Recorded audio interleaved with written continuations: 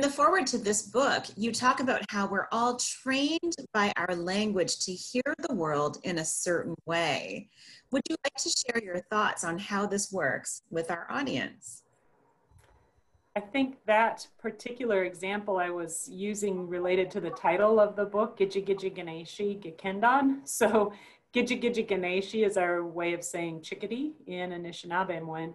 And we often get taught to hear the world around us a certain way. There's patterns that become familiar. So you could argue that it goes both ways. Um, arguably, the very first person that said Gidja Gidja and Ganeshi was hearing that and created the word. But now, for the rest of us, now that that word already exists, when we learn it, it becomes what we hear when we're out listening to chickadees. Some of us may also hear chickadee dee dee. Depends on which you're used to. So I think that we just have to be mindful about the delights of linguistic diversity and how multiple ways of hearing the world around us can be really beneficial. Oh, doors opening all the time, I think.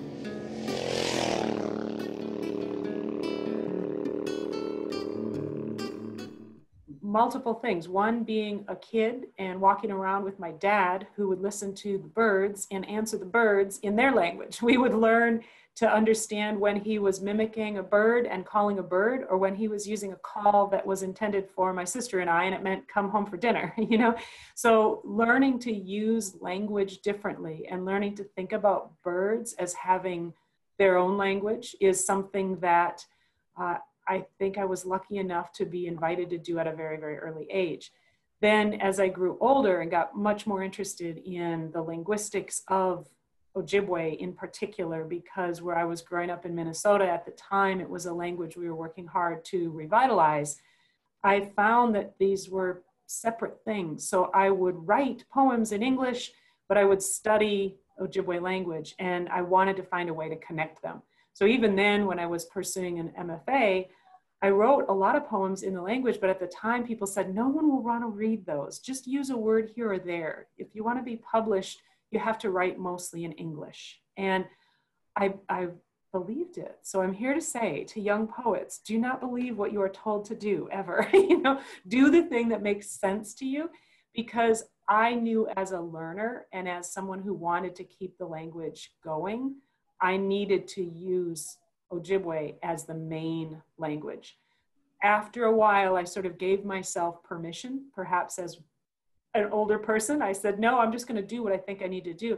And that was to write first in Anishinaabemowin, because if people are careful readers and even if they don't know the language but sound them out, you can see the rhythm, the pattern, the line lengths, the sounds that I'm playing with in Anishinaabemowin are a little bit richer and more complex.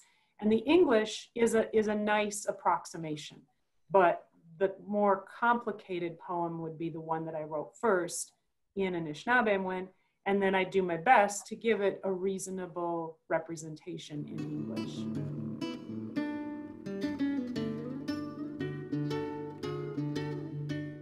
I mean, one would be the fact that I have always had elders tell me, elders as in my own parents, my grandparents, or when you hear elders saying, now this is a story from long, long ago, and you know that what they mean is a story that's been handed down through large expanses of time, um, that you really listen to the whole world around you. So, in one sense, that's a bit of a rhetorical audio kind of tradition to follow.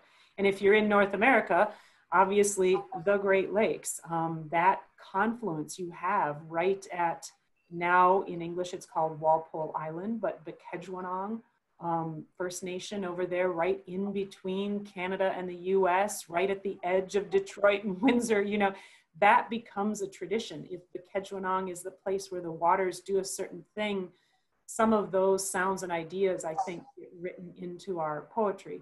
On the other hand, I've also had a lot of fun translating Chaucer and Hafez and any number of poets that have spanned different centuries and their traditions um, influence my work as well. So I would not say that I ever try to stay within one space.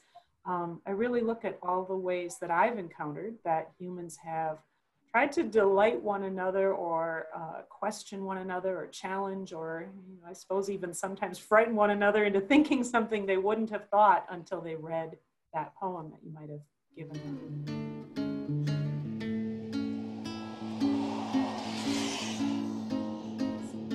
Until some of the things that, you know, colleagues my age or other folks that I know are working in language revitalization were doing this, I really felt a lot of indigenous languages were anchored in the past. So even if I mess up or people don't like my poems, at least it's creative use that's moving forward. So, so I really do appreciate when people are willing to just take that leap of faith and say, here's a language I don't know, but I'm gonna let someone play with it.